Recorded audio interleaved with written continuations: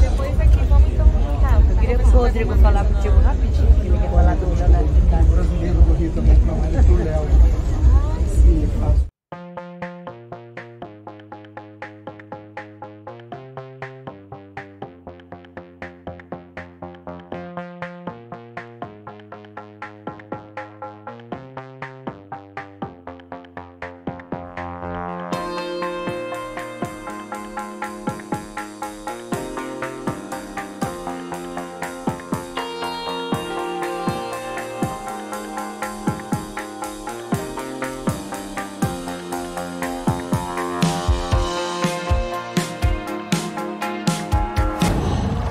Whoa.